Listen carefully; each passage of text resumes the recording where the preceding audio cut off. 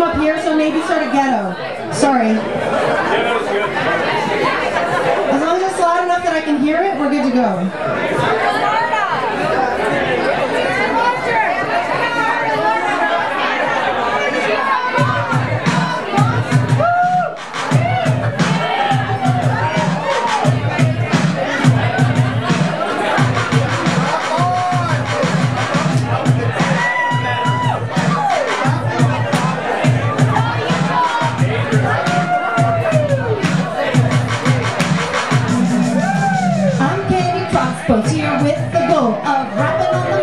a man named Joe He knows how to go. He's got a real deep soul. He likes to meditate, and there ain't nothing wrong about that.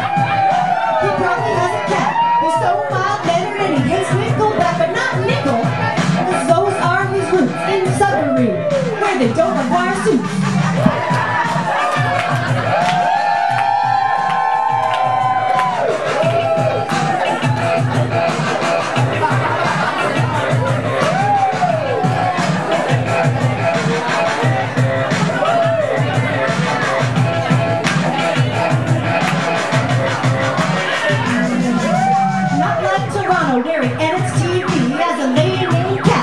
What?